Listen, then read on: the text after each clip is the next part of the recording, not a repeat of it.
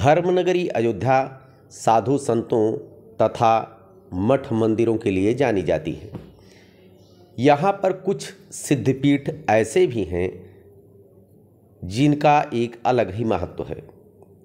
आज उन्हीं सिद्धपीठों में से एक महत्वपूर्ण सिद्धपीठ सिद्ध शीतला माता के मंदिर का हम आपको दर्शन कराते हैं। यह सिद्धपीठ अयोध्या शहर के मध्य में स्थित है, जो लगभग 300 वर्ष पुरानी है। इसका जीर्णोद्धार 2006 में किया गया तथा 2012 में बगल की ज़मीन को क्रय करके इसका आकार बढ़ाया गया। मंदिर में यहाँ पर श्रद्धालुओं का नवरात्रि में तांता लगा रहता है। महिलाएँ और पुरुष अपनी मनोकामना की पूर्ति के लिए यहाँ पर आते हैं।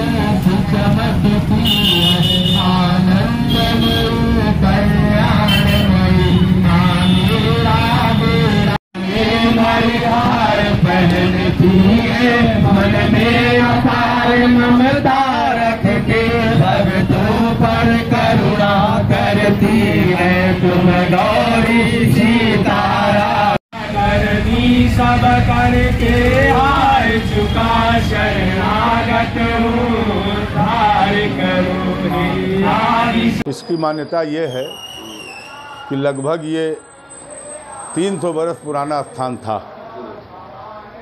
यहाँ एक नीम का वृक्ष है, बहुत पुराना। 2006 में इसका जीर्णोद्धार हुआ। जीर्णोद्धार कराया गया समाज के लोगों से, हम लोगों की मेहनत से जीर्णोद्धार हुआ। जीर्णोद्धार होने के बाद 2012 में बगल में ही ज़मीन थी स्कूल की। उसको क्रय किया गया मंदिर की तरफ़ से।